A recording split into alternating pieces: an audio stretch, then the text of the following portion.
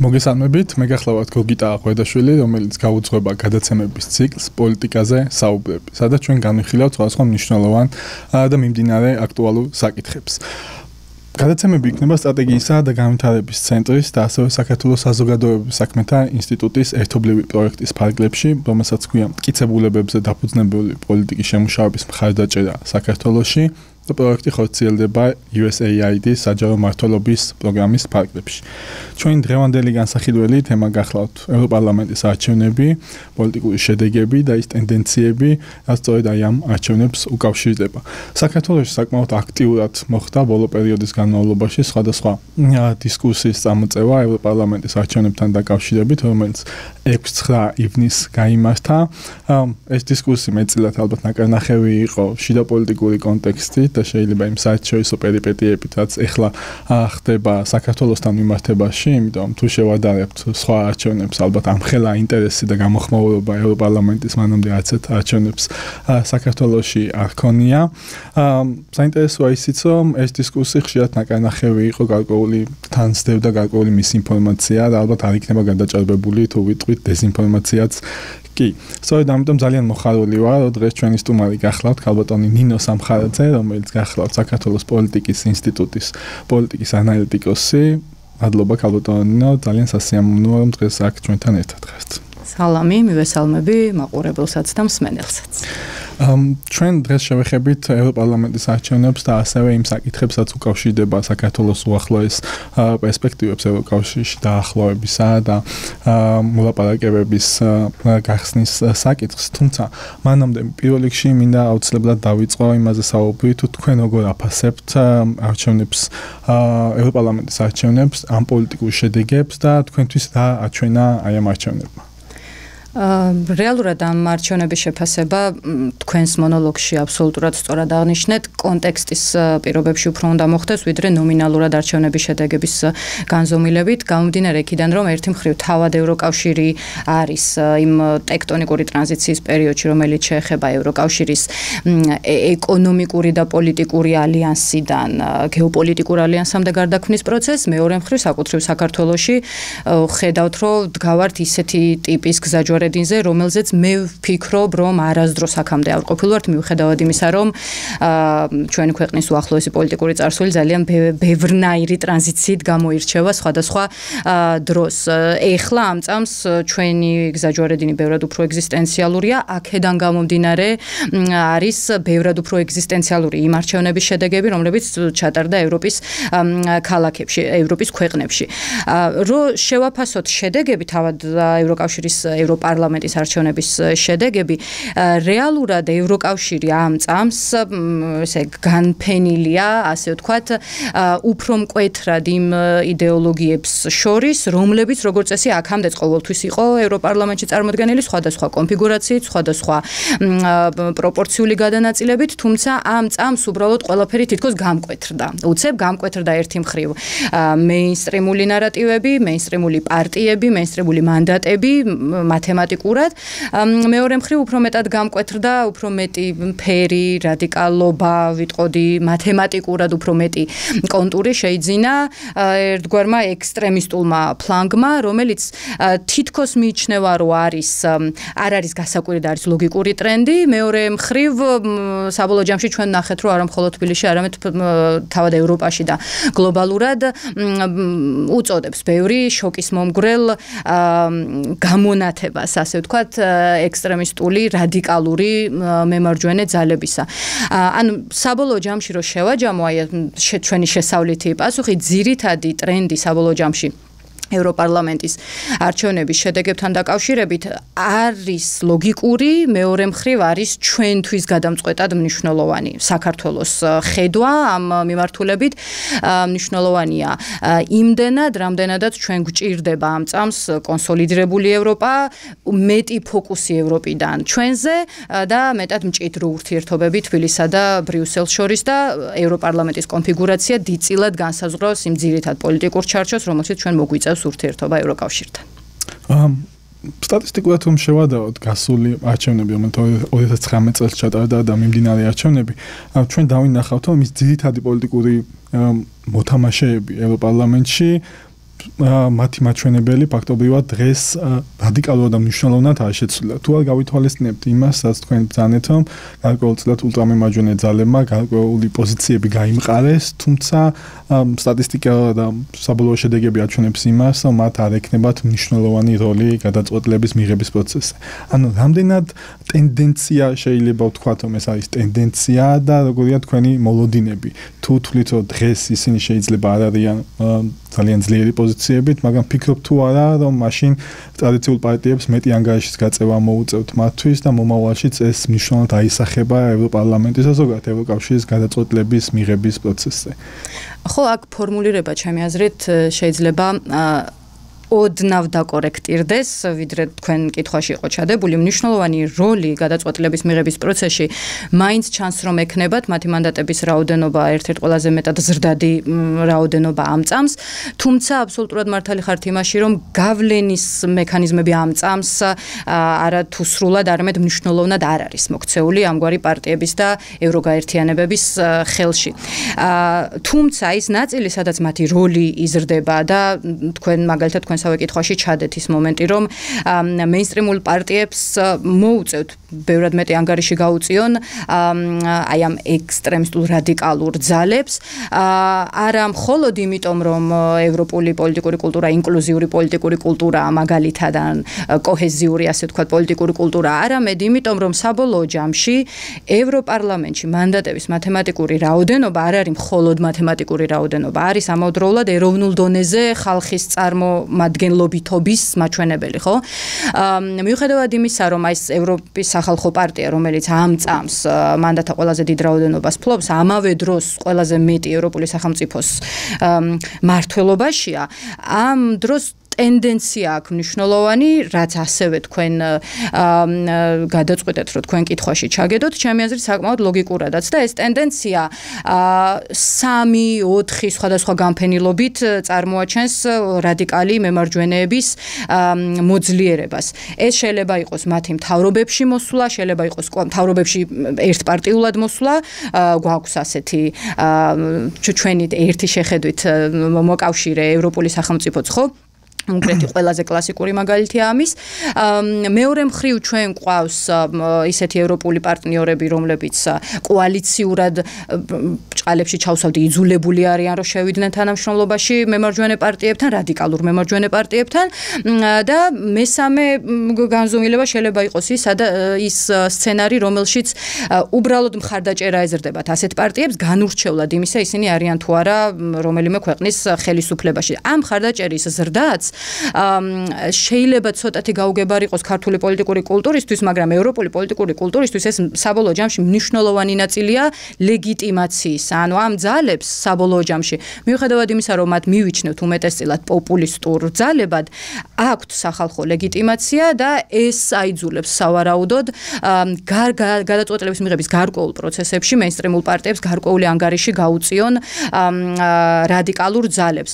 თუმცა კიდევ ერთხელ ვამბობ, ჩვენ როდესაც შევხედავთ საბოლოო ჯამში კოალიციურ პოტენციურ კოალიციურ კონფიგურაციებს ევროპარლამენტში შევხედავთ სხვა ინსტიტუტებს რომლებსაც აქვთ ევროპარლამენტის საბოლოო პოლიტიკის ფორმირებაზე და საბოლოო ამინდზე უფრო მეტად ხელშესახები წვდომა აი იქ უკვე გამოჩნდება ჩემი აზრით რომ შეიძლება გავლენის მექანიზმების ზრდაზე ზედმეტი იყოს ამ წამს საუბარი ultramemარჯვენე ძალების ხელში ანუ ამ კუთხით რაიმე ევროკავშირის ერთიანი პოლიტიკაში მნიშვნელოვან ცვლილებებს ნაკლებად უნდა ველოდოთ და ისიც საინტერესოა პრინციპში იმის ანალიზი გავაკეთოთ, რამ გამოიწვია ისო დღეს ეს ულტრამემარჯვენე ძალები უფრო მეტ მხარდაჭერას იღებენ საზოგადოებისგან, ვიდრე ჩვენ თქვათ წინა წლებში ქონდა. თქვენ როგორ შეაფასებთ ევროკავშირის სხვადასხვა ქვეყნებში არის ტენდენცია რეალურად რომ მეორე მესამე ადგილზე გადიან ეს პარტიები, ნახეთ ზოგ ქვეყანაში როგორც აღნიშნეთ, გაიმარჯვეს. კიდევაც ანუ თქვენი შეფასებით რა ის მთავარი ფაქტორები, რამაც მათი პოპულარობა გაზარდა? დავიწყოთ იმით, რომ ფორმულა საბოლოო ჯამში ასეთია, საბოლოო იდეას ევროკავშირისას ეს ზრდა ვერ შეცვლის, შეცვლის მხოლოდ დებატს, შეცვლის დებატის დინამიკას. ისინი ბევრად შეიძლება იყვნენ ხმამაღალნი, შეიძლება იყვნენ ბევრად მრავალფეროვანიც, თუმცა საბოლოო ხედვაზე, ევროკავშირის საბოლოო ხედვაზე მე არ მგონია, რომ ამა რაიმე ფუნდამენტური გავლენა მოახდინოს, თანაც იმის გათვალისწინებით, რომ ევროპელი რადიკალები, რადიკალი მემარჯვენეები შედგენილი არიან სხვადასხვა ქვეყნების რადიკალი მემარჯვენე მემარჯვენეებისგან. ხო, იქაც დინამიკები ძალიან ჭრელია, ძალიან განსხვავებულია და ჯერ კიდევ ეჭვს ქვეშ დგას ჩემთვის მაგალითად, როგორ მოხერხდება თავად ამ ფლანგზე კოჰეზია შიგნით. მაგრამ ეს ცალკე საუბრის თემა თუ ვისაუბრებთ იმაზე, რატომ ხდება ეს, რაც ხდება, აქ მექნებოდა ორი ძირითადი ახსნა. პირველი ეს დევს თავად იმ მეინსტრიმულ ძალაუფლებებში, მთავრობებში თუ ელიტებში, რომლებიც ამ წამს დღეს ევროპაში არსებობს და მოდი ვაღიაროთ, რომ ერთ-ერთი ყველაზე სუსტია ამ ეტაპზე, ეს სუსტე შეიძლება იყოს ბიუროკრატიულ სინელეში გამოიხატებოდეს, ისეთ საკითხებთან მიმართებით, როგორც არის მაგალითად, როგორც იყო 2020 წლის 22 წლიდან მოყოლებული უკრაინის მიმართ მხარდაჭერა, როგორც იყო გაფართოების პოლიტიკის მიმართ ბევრად მეტი ნდობა, გაფართოების პოლიტიკაში ბევრად მეტი რესურსი კურსის ჩადება ისევ საკუთარი ბრიუსელისავე ინტერესებიდან გამომდინარე და ესეთი ფუნდამენტური საკითხების მიმართ შეხედულებები, ხო? ევროპელი ლიდერები დღეს ცდილობენ ახლა მიმდინარე ლიდერები დღეს ცდილობენ რომ დაანახონ საკუთარ საზოგადოებას ბალანსი საკუთარ სიძლიერეს გეოპოლიტიკურ სიძლიერესა და მოსახლეობის მიმართ ლოიალობას შორის. აი ეს ბალანსი ძალიან ძნელი დასაჭერია. მაგალითისთვის, როდესაც ჩვენ საუბრობთ უკრაინის მიმართ გაძლიერებული მხარდაჭერის ფონზე სოციალური პროგრამები, ფასები, ენერგოდივერსიფიკაციის მტკივნეული ფაქტორები. აი ამათ შორის ბალანსი ჩემი შეგრძნებით ცოტა ცოტა გაუჭირდა. ევროპას გაუჭირდა იმ გაგებით რომ საზოგადოება მაშინ როდესაც აღმოჩნდა ერთი მხრივ მედეგი ამ ყველაფრის მიმართ იმიტომ რომ ძალიან ძლიერი ინსტიტუტების მქონეა ევროპული სახელმწიფოების უმეტესობა ძალიან ძლიერი პოლიტიკური კულტურის მქონე საზოგადოებები ყავს. ამ ეტაპზე მომწიფებული საზოგადოებები ყავს ევროპის ევროკავშირის სახელმწიფოებს. აი ამ ფონზე სიძლიერის ძალის ჩვენება ცოტათი გაუჭირდა ჩემი შეხედულებით იმ ძირითად ლიდერებს რომლებიც დღეს ქმნიან ევროკავშირში ამიც. ამან გამოიწვია ის, რომ ძალიან დიდი წარმატებით მე ვიტყოდი დაასვა საკუთარი ნარატივები, პოპულისტური ნარატივები ულტრამემარჯვენე პარტიების უმრავლესობამ. გამომდინარე იქიდან, რომ ეს პარტიები პრობლემებზე საუბრობენ როგორც წესი ძალიან აქტიურად, ემოციურად, ეგზისტენციალურ დონეზე აყავთ ისეთი საკითხები, რომლებიც პოლიტიკის საკითხებია, სინამდვილეში ემიგრაცია როგორიც არის მაგალითად. და აი ამ ფონზე საბოლოო ჯამში მივიღეთ ის რომ გადაჭრის გზების ძიებაში თითქოს თავისი ნდობა გაიზარდა ბევრ ქვეყანაში ულტრამემარჯვენე პარტიებმა.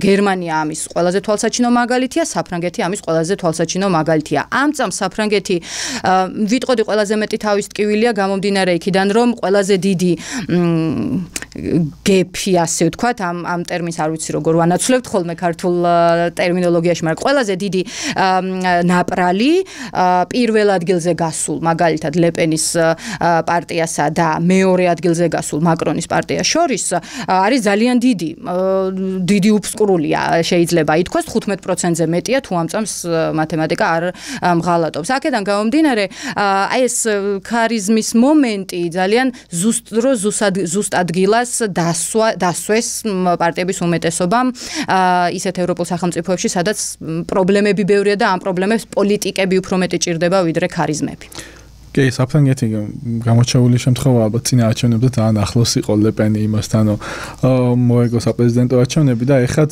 ფაქტია რომ უკვე დაინიშნა საპარლამენტო არჩევნები თვის ბოლოს გამართება ეს არჩევნები და თუ ამ არჩევნებშიც დაახლოებით ისეთივე შედეგები ეს არნიშნავს რომ იგივე შედეგები აისახება ცხადია თუმცა თუ იგივე დაახლოებით იგივე შედეგები იქნა ეს ნიშნავს იმას რომ საფრანგეთში შეიძლება მნიშვნელოვანი ცვლილებები იყოს. თუმცა მაინც საგარეო პოლიტიკა ალბათ პრეზიდენტის პრეროგატივაა დიდწილად და თუ საუბრობთ ევროკავშირის პოლიტიკაზე შეიძლება უფრო გრადაციული იყოს ეს გავლენა, რაც თქვათ პარლამენტ შეიძლება კონდეს.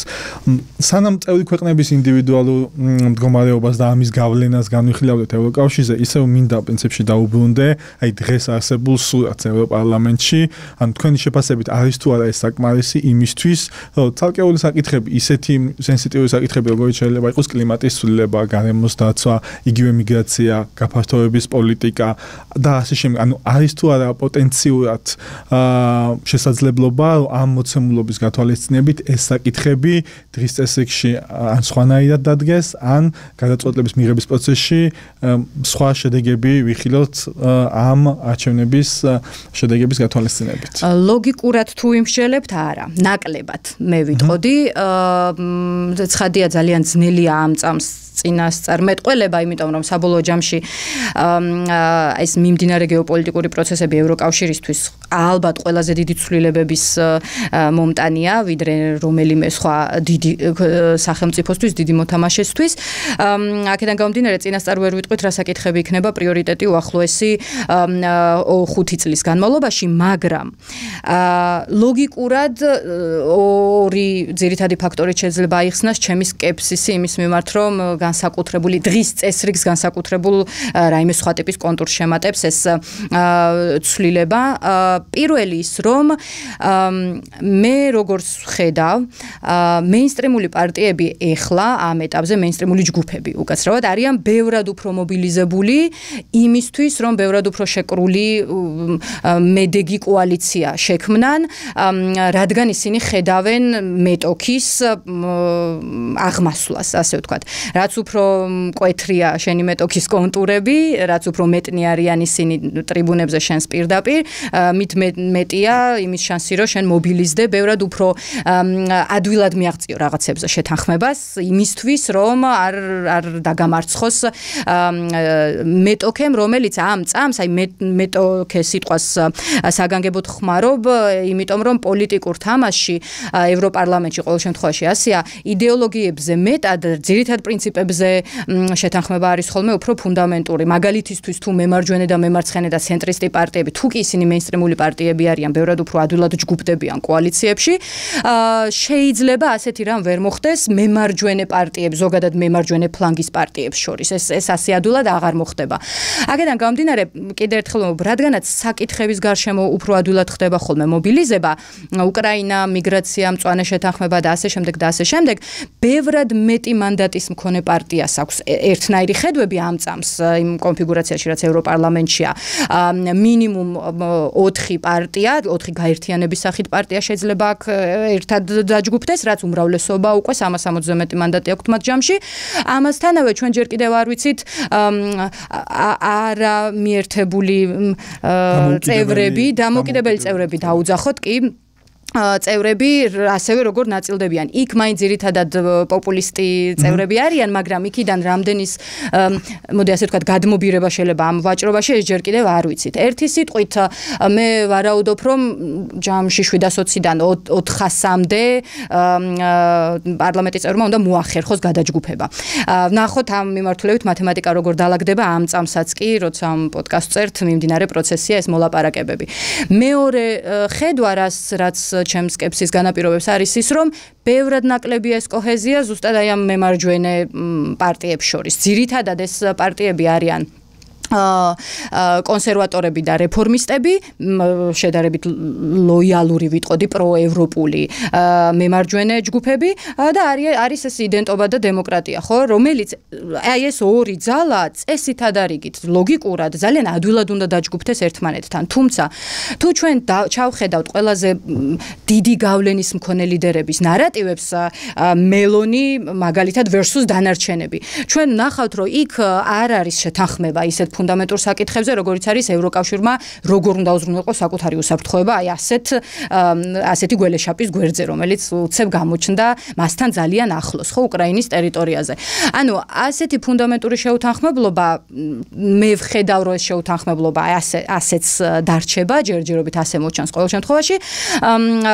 განაპირობებს იმას, რომ ეს გავლენები, რაც რასაც ჩვენ წესით ველით დღის წესრიგზე, იქნება ბევრად უფრო ფრაგმენტული. შეიძლება არა სულ სუსტი, მაგრამ ფრაგმენტული. აი ამ ორი მიზეზის გამო მე მგონია რომ ის ძირითადი ხაზები, რაც ევროკავშირს ამ დრომდე აღებული ქონდა, როგორც შიდა პოლიტიკის ისე ეკონომიკური პოლიტიკის ისე საგარეო და უსაფრთხოების პოლიტიკის მიმართულებით, არ შეიცვლება კიდევ ერთხელ ვამბობ, ცხადია შეიცვლება დებატი. როდესაც თქვენ ალბათ უყურებთ ევროპარლამენტის მომდევნო დებატებს, იქ შეიძლება ბევრად მკვეთრი პოზიციები ვნახოთ, შეიძლება ბევრად მეტი მათემატიკურად პოზიცია ვნახოთ მემარჯვენეებისგან მომდინარე. მაგრამ ძირითადი ხაზებს ეს ვერაფრით რა შეცვლის მე ასე წარმომიდგენია. კი, ნამდვილად შედეგებიც აჩვენებს იმას, რომ ის ყველა ძირითადი პოლიტიკური ჯგუფი რეალურად ძალიან მტკიცე მოწინააღმდეგეა რუსეთის აგრესიის უკრაინასთან მიმართებაში, ძალიან მტკიცედ უჭერს ასევე ხარს გაფართოების პოლიტიკას, დემოკრატიის გავრცელებას და ასე შემდგომ. ასე ამ მიმართულებით ალბათ ნაკლებად მოსალოდნელია ცვლილებები, თუმცა ასევე მინდა კითხოთ ზოგადად მიუხედავად იმისა, რომ ევროპარლამენტს არ აქვს დიდი როლი ამ საგარეო პოლიტიკის შემუშავების პროცესში და ის არ არის წარმმართველი ამ პროცესში პროცესში ხშირად აკეთებს ხოლმე განცხადებებს, შემოიფარგლება რაღაც კომენტარებით. აქვე მინდა უცებად კითხოთ საქართველოს პერსპექტივასთან დაკავშირებით. ანუ ფიქრობ თუ არა რომ გარკვეულ დონეზე ამან შეიძლება ამ არჩევნებმა გარკვეული გავლენა მოახდინოს საქართველოს ევროკავშირში გაწევრიანების პერსპექტივაზე. ავსაუბრობ იმ ჩვენს საშინაო დავალებაზე იმ რეფორმებზე, რაც ქვეყანამ აუცილებლად უნდა განახორციელოს იმისთვის, რომ გაიხსეს მოლაპარაკებების შესაძლებლობები და იმ დღის წესრიგზე, რაც ჩვენ უკვე ვიცით, რომ გვაქვს ევროკავშირში ბავშვთან ინტეგრაციის გზაზე, ვსაუბრობ დღეს არსებული მოცემულობით, ფიქრობ თუ არა რომ ეს შეიძლება იყოს ფაქტორი გარკვეული კონjunktურული ცვლილების საქართველოს ევროკავშირში გაწევრიანების პროცესთან დაკავშირებით. ხო, მე მგონია რომ იმ ჰიპოთეტურ სცენარში, რომელშიც საქართველოს ან ნაბიჯ-ნაბიჯან უფრო სწრაფად, მაგრამ ყოველ შემთხვევაში პოზიტიური დინამიკით მიყვება ჩვენთვის მოცემულ 9 ნაბიჯს იმისთვის, რომ ჩვენ მოლაპარაკებების გახსნამდე მივიდეთ. ამ მიმართულებით ძირითადი ხედვებიც არ შეიცვლება ისევ და ისევ გამომდინარე იქიდან, რომ არა მხოლოდ ევროპარლამენტის კონფიგურაცია არის ნაკლებად გავლენის მომხდენი გადაწყვეტილების მიღებაზე მთლიანად ბრიუსელში. არამედ იმიტომაც, რომ რეალურად ის საკითხებიც კი რაზეც ევროპარლამენტი არის პასუხისმგებელი, როგორც წესი აიხაც ეს მიმდინარე პროცესია, ლოგიკურად მოჩანს, რომ წდება ისევ პროგაფართოების, ამ გაფართოების სასარგებლოდ ის სახეები, სახელგვარები, რომლებიც სახელდებიან ლიდერებად, რომლებიც სახელდებიან იმ ძირითადი ინსტიტუტების მართველ კანდიდატებად, რომლებიც პასუხისმგებელი არიან როგორც წესი გაფართოების პოლიტიკაზე და კანდიდატ გაფართოების პაკეტში ზოგადად მყოფ ქვეყნებთან ურთიერთობებზე აი ამ კანდიდატების ბიოგრაფიები, სახელგვარები გვაჩვენებენ იმას, რომ პირიქით ევროკავშირი საბოლოო ჯამში უყურებს საკუთარ თავს როგორც გაფართოებისკენ მიმართულ პოზიტიურად მიმართულ ინსტიტუტს. ამ წამს ეს ასე, ამ წამს ეს ფაქტია რომ არ იცვლება, იმიტომ რომ მაგალითისთვის არც ევროკომისიის ხელმძღვანელ თანამდებობებზე, არც საგარეო პოლიტიკაზე პასუხისმგებელ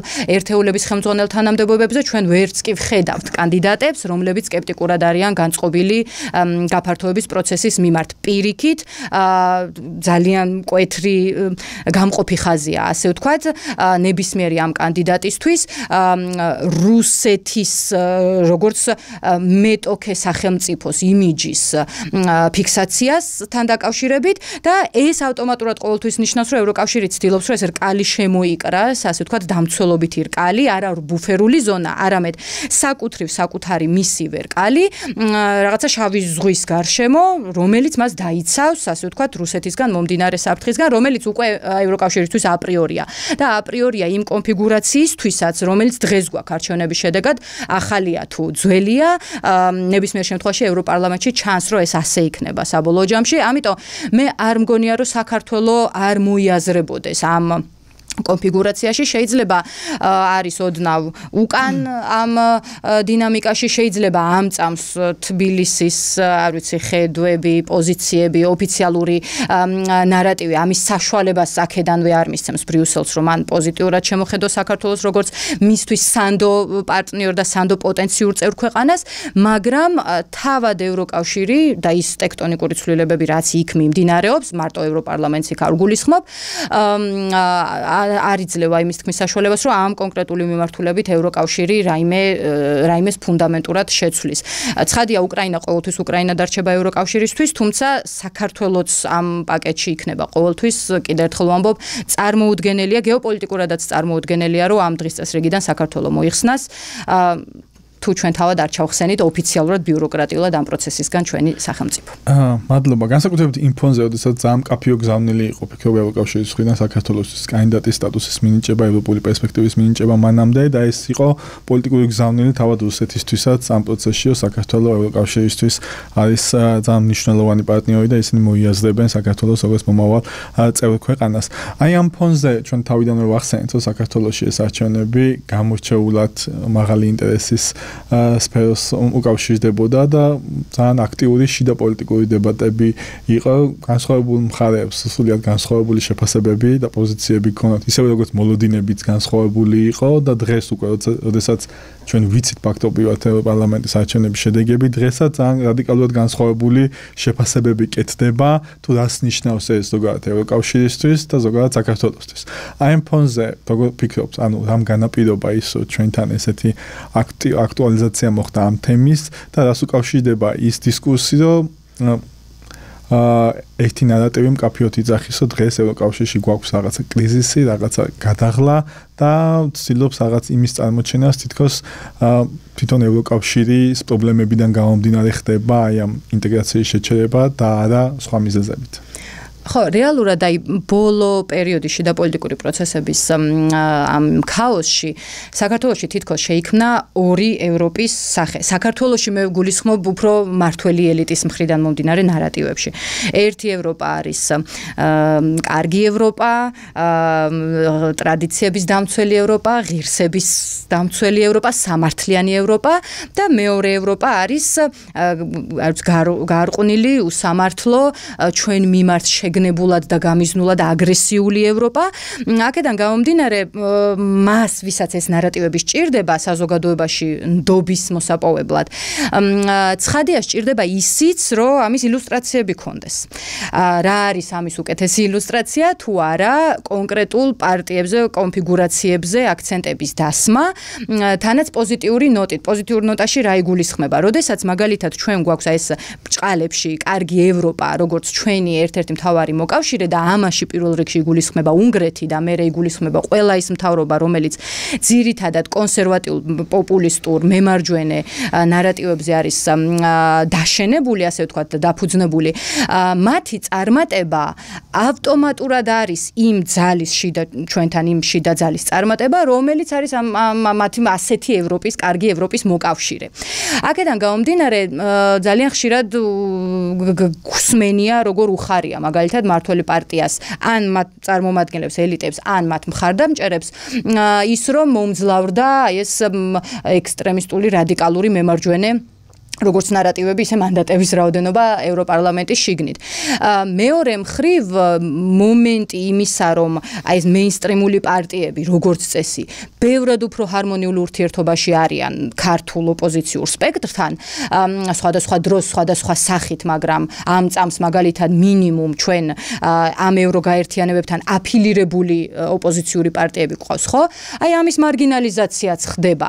მაგალითისთვის ევროპის სახალხო პარტია, რომელიც ერთ-ერთი ყველაზე ხმამაღალი მხარდამჭერია. ჩვენი ოპოზიციური ლიდერის პოზიციაზე მყოფი ოპოზიციური პარტიისა ერთიანი ნაციონალური მოძრაობისა გამომდინარე იქიდან რომ აფილირებულია ერთიანი ნაციონალური მოძრაობა აი ამ ჯგუფთან.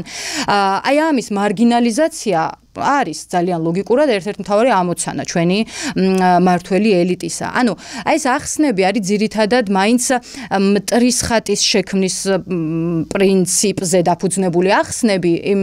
თვითონ ევროპის შიგნით ჩვენ გვჭირდება, ჩვენ რა მართულ პარტიას ჭირდება მტრის ხატი იმისთვის რომ მან ბწინვალე მაგალითია გლობალური ომის პარტია, რომელიც რომელიც სხვათა შორის არის ძირითადად ზუსტად ევროპულ იმ წერტილებთან თან მიმართებით გაკეთებული და აქცენტ დასმული. რა წერტილებიდანაც ყველაზე მეტი კრიტიკა მოდის ჩვენი დემოკრატიის ხარისხის მიმართ. ეს არის ზუსტად ის ევროპარლამენტარები მაგალითად, რომლებიც როგორც წესი ყველაზე ხმამაღალი და თამამები არიან, მათ უფრო მეტი ფუფუნება აქვთ ამით თავიანთი სტატუსიდან გამომდინარე. შეიძლება ეს ასე მარტივად კომისრებმა ვერ გააკეთონ მაგალითად ან საბჭოს წევრებმა, რომლებიც ლიდერები არიან ხოლ სახელმწიფოების. აი აქედან გამომდინარე, აი მტრის ხატის შექმნა თავად ევროპის შიგნით ოღონდ საკუთრივ ევროპა ჩვენ ცხადია უნდა შევინარჩუნოთ ისე როგორც ის ჩვენ სტრატეგიულ ამოცანებში არის გაცხადებული არის ერთ-ერთი მთავარი ამოცანა ამ წამს ჩვენი მართველი პარტიისა რაც ძალიან სამწუხაროა გამომდინარე იქიდან პრაგმატულად სამწუხარო არა ემოციურად აუცილებლად პრაგმატულად სამწუხაროა იქიდან გამომდინარე რომ რეალური ძაფები წდება ამ დროს პოლიტიკური კავშირების რეალური ძაფები მაგალითისთვის ამ წამს ჩვენი მართველი პარტია არა თუ არც ერთი ჩვენ მიერ ხსენებულ ევროჯგუფთან არ არის აფილირებული ან ან წევრი სტატუსი არ აქვს არამედ ატმოსფერულადაც კარგი ურთიერთობა აღარავისთან არ აქვს. მათ შორის იმათთან, ვინც წესითა და რიგით იდეოლოგიურად ახლოს უნდა იდგეს ამ წამს ჩვენი მართველი პარტიის შეცვლილ აი ამ პოპულისტურ კონსერვატიულ რიტორიკასთან. ჩვენ მოკავშირება ძირითადად ითვლებიან ზუსტად აი ეს არ ვიცი მიუმხრობელი თუ დამოუკიდებელი დეპუტატთა ის ჯგუფი, რომლებიც კიდე ერთხელ ვამბობ არ არიან ისეთი გავლენის მოხდენი საბოლოო ამინდზე, როგორც როგორც არ არ ვიცი როგორც წარმოუდგენია ჩვენ მართლ ელიტაში ბევრს. და ამ ბოლო პერიოდში ეს უნგრეთთან სტრატეგიული პარტნიორობა გამოიკვეთა აშკარად და აი პირველი ივლისიდან უკვე მომავალ 6 თვის განმავლობაში სწორედ უნგრეთი გადაიბარებს ევროკავშირის საბჭოს თავმჯდომარეობას და როგორ ფიქრობთ ეს ფაქტორი გავლენის მომხდენი შეიძლება იყოს აი საქართველოს და ევროკავშირის ურთიერთობაზე იმ ფონზე, ოდესაც ხედავთ ძალიან დიდ ნაწილთან საქართველოს ხელისუფლება ვერ ახერხებს ესეთ კონსტრუქციულ დიალოგს და სამწუხაროდ არ გვაქვს ესეთი ღრმა მეგობრობა როგორც ორბანთან ამ ფონზე რა მოლოდინები შეიძლება გქონდეს თქვათ მართლ გუნდს და რა სარგებელ შეიძლება ელოდეს ის აი ამ პროცესისგან, ოდესაც მათი ყველაზე დიდი მოკავშირე შეიძლება ითქვას ალბათ დღეს ევროკავშირში, გახდება ევროკავშირის საბჭოს თავმჯდომარე მare ქვეყანა. ჩვენ ნახეთ რომ ბოლო პერიოდის განმავლობაში განსაკუთრებით უკრაინის რუსეთის ომთან დაკავშირებით ორბანს ჰქონდა განსხვავებული პოზიციები და ევროკავშირის დახმარებასთან და ბევრ სხვა მნიშვნელოვან საკითხთან დაკავშირებით საკმაოდ გაიწერა მოლაპარაკებების პროცესი ორბანის პოზიციის გამო, თუმცა ისიც ვნახეთ, რომ ევროკავშირის ერთიანობამ საბოლოო ჯამში მაინც იმუშავა და ის მნიშვნელოვანი გადაწყვეტილებები მართალია ორბანის მხარდაჭერის გარეშე, მაგრამ მაინც მივიღეთ. აქედან გამომდინარე, რამდენად რეალისტურია ერთის მხრიდან მნიშვნელოვანია აა უნგრეთის პოტენციური გავლენა ევროკავშირის გადაწყვეტილების მიღების პროცესზე და თვლით თუ არა შეიძლება ეს იყოს გარკვეულწილად მნიშვნელოვანი ბარიერი ევროკავშირის ერთიანი პოზიციის შენარჩუნების პროცესში. ამ წამს ერთადერთი სარგებელი რაც ქართული ოცნების იმ მთავრობამ, რომელიც მოკავშირეობაზე, რომელსაც მოკავშირეობაზე აქვს პრეტენზია ფიდესთან, ურბანის მთავრობასთან, ერთადერთი სარგებელი, რაც აქედან შეიძლება მიიღოს, არის შიდა ნარატივების კონსტრუირება, რომ ჩვენ ჯერ კიდევ ვინარჩუნებთ ევროპასთან რაღაცა ტიპის კავშირს. ჩვენ არ დაგვავიწყდეს და ალბათ შეიძლება ეს დინამიკა, თუმცა მაინც მიიჩნეოდა, რომ ქართული ოცნების ამორჩეველს შორის იყო ამორჩევლის ის ნაწილი, რომელიც პროევროპული ამორჩეველია ჯერ კიდევ. ამ პროევროპულ ამორჩეულს ჭირდება შენარჩუნება, იმიტომ რომ ქართული ოცნებაც ახლა უპრეცედენტო მეოთხე ვადისთვის ემზადება, ემზადება ასევე განსაკუთრებულად სავარაუდოდ დავარდნილი მხარდაჭერის ფონზე, ასე რომ მას სრულად ჩახსნა ბჭყალებში ევროპის ნარატივისგან არ გამოუვა ღიად. შესაბამისად სცენარი რა შეიძლება იყოს? მე მყავს მოკავშირეები ევროპაში, თუმცა ეს მოკავშირეები ევროპაში არიან მარგინალიზებული, იმიტომ რომ ისინი არიან ნამდვილი ევროპელები. ეხა გაფართოების პროცესისთვის უნგრეთის პრეზიდენტობა ნამდვილად არ იქნება ის მომენტი, მომენტუმი, ასე ვთქვათ, რომელმაც შეიძლება საქართველოს ამ წამს ხელი წაუკრას გამომდინარე იქიდან, რომ უნგრეთი თავად მიიჩნევა ისეთი საკითხების მალობირებელ, ასე ვთქვათ, აქტორად, რომელსაც რომელიც არ ითვალისწინებს რუსეთიდან მომდინარე საფრთხეებს. აი აქ მთავარი ჩემი აზრით გამყოფი ხაზი არის როგორ ხედავს ორბანი ევროკავშირის წინაშე არსებულ საფრთხეებს. და ამ საფრთხეებს შორის რუსეთი არ არის ისე დაყენებული, როგორც დანარჩენი წევრი სახელმწიფოების დღის წესრიგში. აქედან გამომდინარე ნებისმიერი საკითხი, რასაც დაალობირებს ორბანი ცხადია ის არის სრულფასოვანი წევრი ევროკავშირის, იქნება პრეზიდენტი სახელმწიფოს მთავრობის მეთაური, შესაბამისად მას ექნება ხელში გარკვეული ბიუროკრატიული მექანიზმები, რომ დღის წესრიგი შექმნას, შექმნას პრიორიტეტული საკითხების ჩამონათვალი მაგიდაზე ბრიუსელში, რაზე უნდა ილაპარაკონ პირველ რიგში და ყველაზე მეტი ვთქვათ ევროკავშირის წევრმა სახელმწიფოებმა, თუმცა საბოლოო ჯამში უნგრეთი არის ჯერჯერობით ერთი, არიან სხვა ეს მომძლავრებული მემარჯვენე ძალები, ვახსენე ძალიან ბევრი პარლამენტარიც, მაგრამ როგორც სახელმწიფო, ანუ როგორც წევრი სახელმწიფო ევროკავშირისა, ის ჯერჯერობით მაინც ერთია ამ ეტაპზე. შესაბამისად, მისი ეს პრეზიდენტობის მომენტი დამატებით თავის ტკივილებს შექმნის, დამატებით შეანელებს გადაწყვეტილების მიღების პროცესს. ევროკავშირში, დარწმუნებული ვარ დამატებით მძაფრ პოლარიზებულ დებატს გააჩენს ბრიუსელში მოლაპარაკებების მაგიდებზე, თუმცა საბოლოო გადაწყვეტილებაზე მაინც მე მე არ მგონია რომ ამას რამე გავლენა კონდეს. მათ შორის არც იმ გადაწყვეტილებაზე ექნება. გავლენა საქართველოს მიმართ, როგორი შეიძლება იყოს პოზიცია, იყოს ბევრად უფრო ლოიალური, თუ იყოს ისეთი როგორც ამ წამს ახლა არის კრიტიკული ჩვენი ანტიდემოკრატიული გადახრების მიმართ და ეს კრიტიკა, რომელიც არ არის ნამდვილად წახალიზებული ევროპის პირობითობის პოლიტიკის ფარგლებში. ასე რომ რეალურად ორბანმა რაც არ უნდა დაალობიროს de facto პრორუსული ძალები ეს არ არის მარტო საქართველოს სერბეთი არის იქ ბოსნია ჰერცეგოვინა არის არ მგონია რომ ბრიუსელმა დაუშვას ის რომ რუსეთთან დაახლოებული მთავრობები რაიმენაირად შევიდნენ დაუახლოვდნენ ინტეგრირდნენ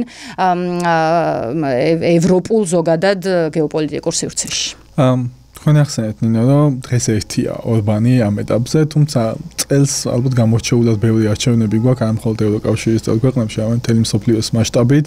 თუ გავითვალისწინებთ იმ დინამიკას ასეც საუბრობდით რომ არაერთ ქვეყანაში როგორც ჩანს საკმაოდ მძლავრი პოზიციები აქვს ულტრამემარჯვენე ძალებს პოტენციალად ხედავთ თუ არა რისკს სხვა ქვეყნებშიც, იგივე საუბარი იყო ავსტრიაზე, ბელგიაზე, გერმანიაშიც, საფრანგეთში, ანუ ეს ტენდენცია ცალკეულ ქვეყნებში საკმაოდ მძლავრი ტენდენციაა და შეიძლება ითქვას, რომ მხოლოდ რაღაცა დისკურსი ახდენენ გავლენას. ამეთ ფაქტია, რომ ისინი აუცილებლად სავარაუდოდ მოახდენენ გავლენას პოლიტიკის კეთების პროცესზე, გადაწყვეტილების მიღების პროცესზე, ჯერ პირველ რიგში საკუთარ ქვეყნებში და შემდგომ უკვე სავარაუდოა თუ ეს დინამიკა გვექნა უკვე ევროკავშირის დონეზეც.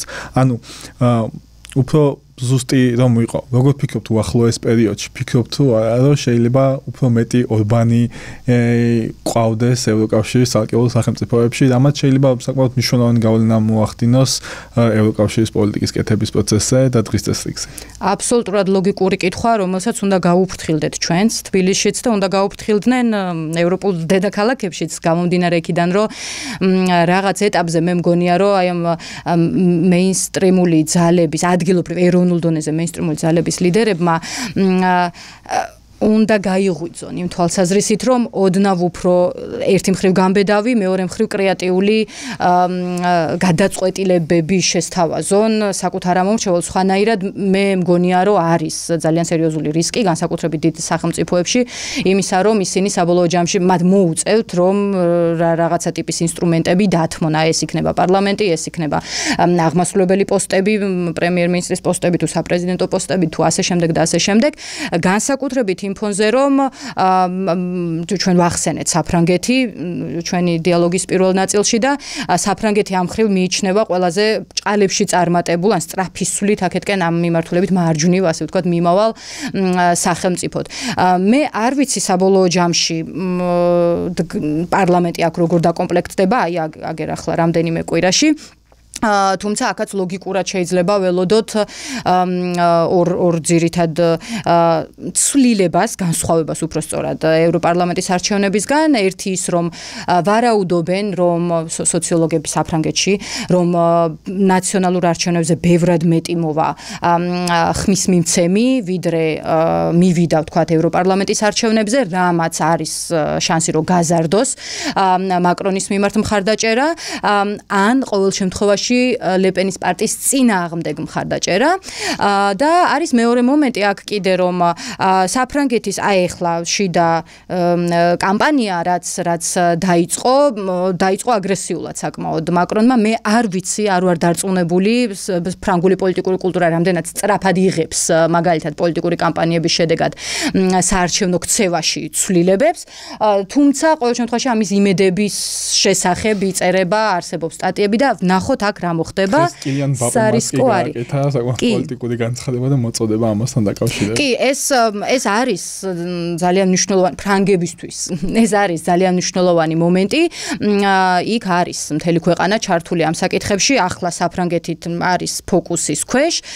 ცხადია არ ჩამორჩება დარწმუნებული ვარ ლეპენი და მისი მეგობრები კამპანიაში გულისხმობდა ესეთ ემოციურ დატვირთვაში ამ უმრჩევლისა რომ ეს ძალიან მნიშვნელოვანია გადამწყვეტია ეგზისტენციალურია აი დაახლოებით ემოციის დონემ დაახლოებით ამ დონეზე მოიმატა ამ წამს პოლიტიკური ნარატივებისა საფრანგეთში. აქ უკვე ნაკლებად არის იმაზე საუბარი კონკრეტული პოლიტიკები როგორი შეიძლება იყოს. ამ ამაზე კამპანირება კამპანირება ალბათ ისეთი გასაგები ტერმინია.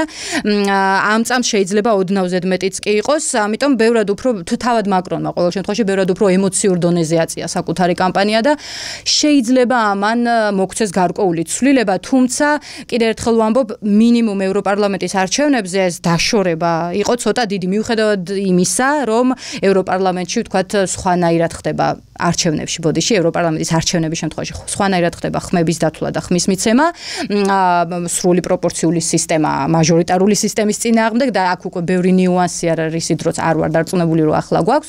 თუმცა საინტერესო თემაა ზოგადად ეს მე მგონია რომ ყოველ შემთხვევაში იძლევა იმედთა გარკვეულ რაოდენობას რომ რეალურად შეუძლია მაკრონს რომ ამ წამს აი ამ უახლოეს პერიოდში დაკაჩოს ასე ვთქვათ აი ეს ჩამორჩენა რაც მან დააფიქსირა ევროპარლამენტის არჩევნებში. ერთმანეთის მიყოლებით თვითონ დომინოს ეფექტს გავს სხვა სახელმწიფოები ჰოლანდიაში თავრობაში მოლაპარაკებებშია ჩართული ხო ასეთი პარტია ჩვენ ყავს გერმანული მაგალითი რომელ რომლის შემთხვევაშიც მხარდაჭერა გაზრდილია იმდენად რომ მიუხედავად იმისა განურჩევლად იმისა მთავრობაში იქნება თუ არა ალტერნატივა გერმანიისთვის AfD ამის მიუხედავად მას ძალაუფლებაში ექნება გარკვეული კი ხელი ასე ვთქვათ.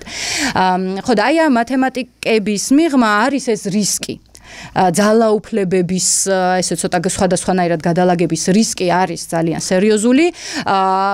კიდე ერთხელ ვამბობ, მემარჯვენე ძალები განსხვავდება ქვეყნების მიხედვით, მათი ნარატივები განსხვავდება ქვეყნების მიხედვით, თუმცა ჩვენ თუ გვინდა საბოლოო ჯამში გავზომოთ ევროპის სახე, როგორი იქნება წელს და მომავალ წელს, ასევე მომავალ წელს არის გერმანიის არჩევნები, რომელიც მეორე დიდი სახელმწიფო ევროკავშირის საფრანგეთის გარდა აი ამ სპექტრს თუ არ მოუფრთხილდა ასე ვთქვათ და თუ ცოტა აქტიურად სხვანაირად კრეატიულად არ შეხედა მეინსტრიმულმა პოლიტიკურმა ელიტამ არის სერიოზული რისკი რომ გადაინაცვლოს არა მხოლოდ უბრალოდ მარჯვნივ მთელმა ევროპამ არამედ რადიკალურად მარჯვნივ და რადიკალიზების მომენტი აქ მთავარი და არა მაინც და მაინც იდეოლოგიური სხვაობები ეს ავთენტური ნაწილია ევროპის. ძალიან ბევრი ისეთი გამოწვევები წარმოშვა, სადაც დღეს შეიძლება საერთოდ არ გვახსენდება, იმიტომ რომ რეალურად საფრანგეთის და გერმანიის გავლენა თვითონ კვოტებს თუ გავითვალისწინებთ ახლა ევროპარლამენტში და დონის გავლენა აქვს ამ ქვეყნებს, შესაბამისად ამ ქვეყნებში მიმდინარე პროცესი დიდწილად ასევე მნიშვნელოვან გავლენას მოახდენს ევროკავშირის ინსტიტუტებზე, აქედან გამომდინარე, კი ამ ქვეყნებს ექნებათ მართლაც გადამწყვეტი როლი, როგორ წარიმართება ამ ქვეყნებში მიმდინარე არჩევნები. აუცილებლად ვფიქრობ უნდა შევეხოთ რუსეთის ომს უკრაინაში უკრაინის წინააღმდეგ ფაქტობრივად როგორ გადაწყდება ამ ომის შედეგები ეს მნიშვნელოვნად განსაზღვრავს როგორ იქნება ევროკავშირის უსაფრთხოების არქიტექტურა მომავალი ალბათ 100 წლეულების განმავლობაში და არა მხოლოდ ევროკავშირის იმიტომ რომ ამას დიდი შანსია გავლენა ჰქონდეს როგორ მოიქცევა ჩინეთი თავის რეგიონში როგორ მოიქცევა ახლო აღმოსავლეთში როგორ წავა მოვლენები რა მოხდება ცენტრალურ აზიაში იმიტომ რომ ეს იქნება ძალიან მნიშვნელოვანი მომენტი საერთაშორისო ურთიერთობებში უსაფრთხო განსაკუთრებით უსაფრთხოების პარადიგმის ცვლილების კონტექსტში. აქედან გამომდინარე ეს გარკვეულ წილად შეიძლება ითქვასო ერთ-ერთი ფუნდამენტური ქვაკუთხედაც რჩება დღეს ევროკავშირის როგორი ევროკავშირი გვექნება ხვალ დამოკიდებულია დიდწილად ფიქრობ იმაზე როგორი გადაწყვეტილებებს მიიღებს დღეს ევროკავშირი რუსეთ-უკრაინის ომთან დაკავშირებით. თქვენი როგორც აი ამ საკითხის ექსპერტის მოლოდინი როგორია ამ მიმართულებით? ფიქრობ თუ არა ძალიან ბევრი გამოწვევა დადგა დღეს ევროკავშირის დღის წესრიგში დაწყებული ულტრამემარჯვენე ძალები დამთავრებული სოციალ-პოლიტიკური გამოწვევებით. ხო რაც შეიძლება უკავშირდებოდეს ფასების დას ინფლაციას გადასახადებს და ასე შემდგომ რაც ძალიან პრაგმატული და ხელშესახებია ევროკავშირის წევრი მოქალაქეებისთვის და მათი პროტესტით შეიძლება გარკვეულ დონეზე საკუთარი მთავრობების მიმართ აბსოლუტურად გასაგები და ლეგიტიმურია თუმცა მეორე მხრივ ჩვენ გვაქვს კიდევ უფრო დიდი რისკი, რასაც დღეს რუსეთი ქვია და თუ რუსეთი ალბათ მიაღწევს თავის სტრატეგიულ მიზნებს უკრაინაში, რისკები გაიზრდება არა მხოლოდ მოლდოვისთვის და საქართველოსთვის და აღმოსავლეთ პარტნიორობის ქვეყნებისთვის, არამედ მთლიანად ევროკავშირისთვის. აქედან გამომდინარე, და მნიშვნელოვანი იქნება იმ შეფასებაც, როგორ ფიქრობთ, რამდენად ხედავთ დღეს მზაობას და ევროკავშირის ერთიანობას? აი ამ დიდი რისკის წინააღმდეგ. ფიქრობ თუ არა დღეს საკმარისი კეთდება იმისთვის რომ სათანადო მხარდაჭერა ინსტრუმენტები პოლიტიკური სამხედრო თუ ეკონომიკური მხარდაჭერა კონდეს უკრაინას იმისთვის რომ ამ ბრძოლაში საერთამარცხდეს აა რეალურად ამ წამს ჩემი აზრით ბრიუსელი კარგად უნდა დაფიქრდეს იმაზე სასტორის ორ მხარეს რა უდევს. აა თუ მას ერთ მხარეს უდევს საკუთარი უსაფრთხოება, რომლის გარანტია არის რუსეთის შეკავება და გასვლა მისი ამ ეტაპზე სამეზობლოდან, თუმცა ეს აღარ არის ჩვეულებრივი სამეზობლო, ხო, ჩვენ უკვე კანდიდატი სახელმწიფოები ვართ და უშუალოდ უკრაინა უკვე მოლაპარაკებებში შედის, რაც რაც უკვე აქტიური ბიუროკრატიული პროცესია გაწევრების. აა ევროკავშირმა კარგად უნდა გაზომოს წესითა და რიგით. ევროკავშირი არ არის მარტივი მექანიზმი, მაგრამ ესე დავარ ესე დავარქვა ბრიუსელმა კარგად უნდა გაზომოს. რა რის ფასად უღირს. აა ის რესურსი, რაც ევროკავშირმა აქამდე უკვე ჩადო, ერთი მხრივ უკრაინის მხარდაჭერაში და მეორე მხრივ საკუთარი თავის უფრო მეტად არ ვიტყოდი მილიტარიზებულ, მაგრამ უფრო მეტად თავდაცვაზე ორიენტირებულ გეოპოლიტიკურ ალიანსად გარდაქმნის პროცესში, ამაში მას ძალიან დიდი რესურსი აქვს ჩადებული, მათ შორის მოლაპარაკებების, მათ შორის პოლიტიკური ურთიერთდამოკიდებულების დიდი რესურსი აქვს ჩადებული. აქედან გამომდინარე, მე უბრალოდ ვარაუდობ, რომ როგორი ტიპის კონფიგურაციაც არ უნდა დადგეს ევროკავშირის ნებისმიერი ერთეულის ელიტების სახით uh, ევროკავშირი ვერ გაბედავს, ვერ გამოვა, ასე ვთქვათ, უკან იმ თავის ჩადებული რესურსებიდან, რაც მან უკვე დადო, გასცა, გაიღო, ძალიან დიდია ეს რესურსი ამ ეტაპზე, მეტის მეტად დიდი იმისთვის, რომ მან გარისკოს საკუთარი თავი, საკუთარი უსაფრთხოება და შეაჩეროს უკრაინის მხარდაჭერის პოლიტიკა და არა მხოლოდ უკრაინის მხარდაჭერის პოლიტიკა შეაჩეროს, არამედ ამით ფაქტობრივად შეაჩეროს რუსეთის შეკავების პოლიტიკა. აქედან გამომდინარე მე მგონია რომ ჩვენ თუ აი თუნდაც აი ამ ევროჯგუფების ძირითად შეხედულებებსაც დავაკვირდებით, განურჩევლად იმისა, რამდენად რადიკალურია ამ ჯგუფების идеოლოგიური გამფენილობები ამ კონკრეტულ საკითხზე უსაფრთხოებაზე ნებისმიერ შემთხვევაში პარლამენტარების უმეტესობა, შესაბამისად მე უფრო ფართო ელიტების უმრავლესობა, როგორც წესი თანხმდება. აქ არ არის ძალიან დიდი პოლარიზაცია. შეიძლება ძალიან დიდი დებატი არსებობდეს იმაზე, რა რაოდენობა რა ტიპის მხარდაჭერა მოაბილიზოს ევროკავშირმა უკრაინისთვის რა ტიპის რესურსი ჩადოს? იმაში რომ საკუთარი თავი გადააქციოს ასე ვთქვათ უფრო მეტად გეოპოლიტიკურ აქტორად ვიდრე ის აქამდე იყო მაგრამ ძირითადი ხაზი რომლის მიხედვითაც რუსეთის შეკავება უკვე მისი ეგზისტენციალური ამოცანა ამის შეცვლის რესურს ამ ეტაპზე ვერ ხედავ იმ პირობებშიც კი როდესაც მთავრობებში კოალიციურად თუ ერთპარტიულად მოდიან მემარჯვენე ძალები მემარჯვენე ექსტრემისტული მემარჯვენე ძალები ევროპაში ავტომატურად პრორუსულ ძალებს არ ნიშნავს. პირიქითაც ხშირ შემთხვევაში. კი აქედან გამომდინარე მე ამ დარღვევას აი ამ ერთიანობაში ვერ ხედავ ვერც ერთ ყველაზე ცუდ რადიკალურ სცენარშიც კი. არიან ცალკეული ერთეულები ჩვენ ვახსენებთ სულ ორბანს და მე ფრაზა ვთქვი რომ მარტოა ფაქტობრივად ორბანი ამ ბრძოლაში. მას შეიძლება რამდენიმე პარტნიორი ამაში ყავდეს ამ ამ იდეის ადვოკატირებაში მას ყავდეს თუმცა ეს არ არის გავლენის მომხდენი პარტნიორობა ეს არ არის დიდი ძალა უფლება რომელიც გადააბალანსებს იმ ძირითად მეინსტრიმულ შეხედულებას ევროკავშირის შიგნით რომელიც ამ ეტაპზე ჩამოყალიბდა 2022 წლიდან მოყოლებული დღემდე.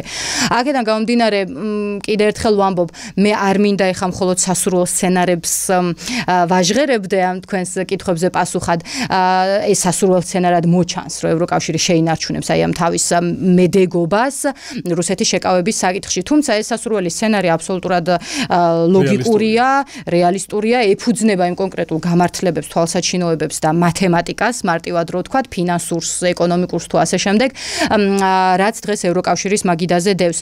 თქვენ ახსენეთ რისკის სახით. საზოგადოებრივი განწყობები და საზოგადოებრივი განწყობები ამ წამ შეიძლება იყოს როგორ თქვა კრიტიკული სოციალური მდგომარეობების მიმართ რომლებიც ახალი ფორმით წარმოიშვა რამდენიმე ისეთ ქვეყანაში რომელსაც განსაკუთრებით განსაკუთრებულ ზიანად დააწვა ეს დივერსიფიკაციის პოლიტიკა იქნება თუ რუსეთთან ურთიერთობის გაწყვეტის პოლიტიკა თუმცა საბოლოო ჯამში ევროპელი მოსახლეობა მე თქვი კიდეც არის პოლიტიკურად განსაკუთრებით მომწიფებული საზოგადოება. გამომდინარე იქიდან რომ მასაც კარგად შეუძლია გაზომოს ზუსტად მისი ლიდერი რატომ მიყვება იმ პოლიტიკას რასაც მიყვება. ცხადია ჩვენ ბევრჯერ ვილაპარაკეთ რომ ხედავთ არამეინსტრიმულ მომძლავრებებს. ბევრ პარტიას გაეზარდა მხარდაჭერა სწორედ აი ამ არამეინსტრიმულ ფლანგზე far right ულტრამემარჯვენე ფლანგზე ასე ვთქვათ.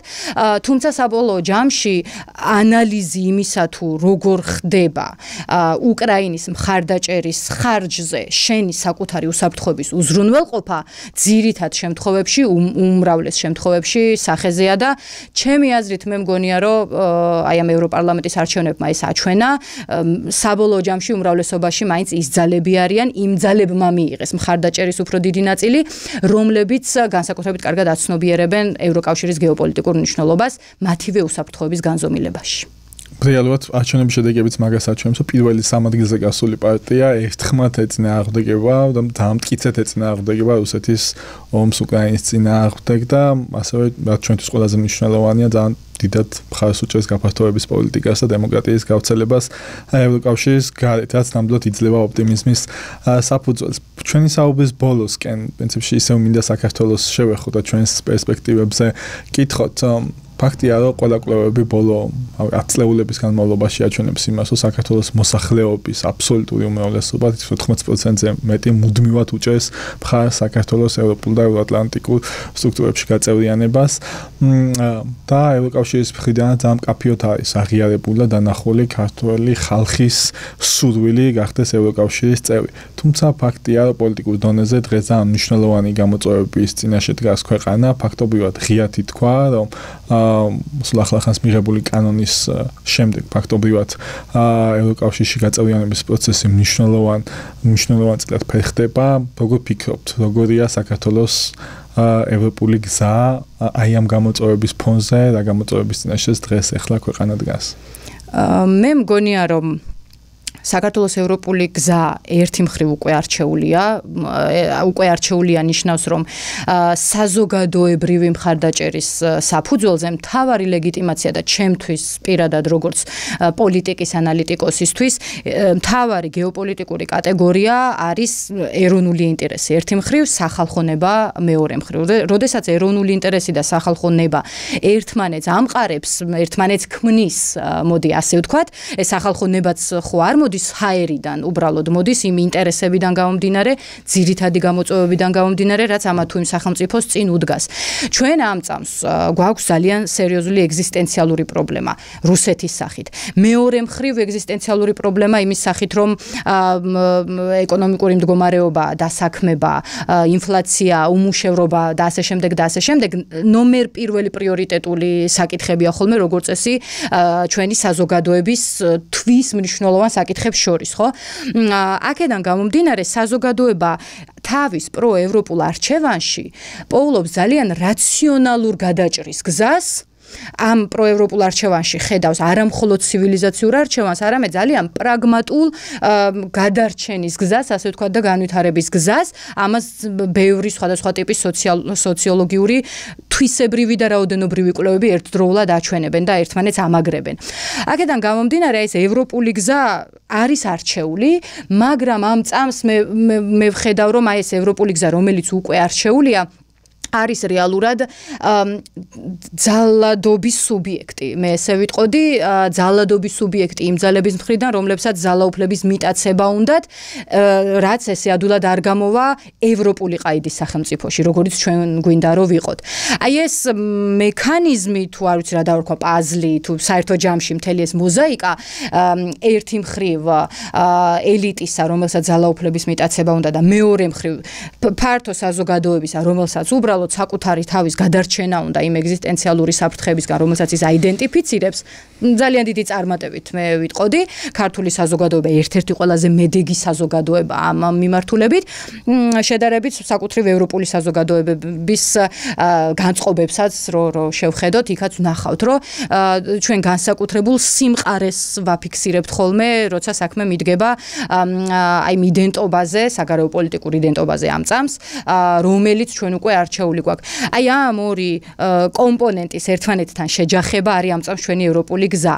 მე მგონია რომ სახალხო არჩევანი ბევრად უფრო ძლიერია, ბევრად უფრო გრძელვადიანია, ბევრად უფრო მედეგია და როგორი ტურბულენტობებიც არ უნდა არსებობდეს ამ გზაზე სხვადასხვა ანტიდემოკრატიული კანონების წყებით თუ ანტიევროპული ნარატივების შემოტანით და შემოშვებით მე მგონია რომ საბოლოო ჯამში ძირითადი ფონი რომელიც ცალსახად დასავლური და ცალსახად პროევროპულია თავის საქმეს იზამს გაფილტრავს ქვეყნისთვის სასარგებლო და ქვეყნისთვის საზიანო კომპონენტებს და საბოლოო ჯამში საქართველოს ეს გზა გარდაუვალია.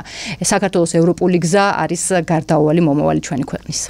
ინო ძალიან დიდი მადლობა ძალიან საინტერესო და ინფორმაციული საუბრისთვის. ჩვენი დღევანდელი გადაცემა ამით დასრულებულია.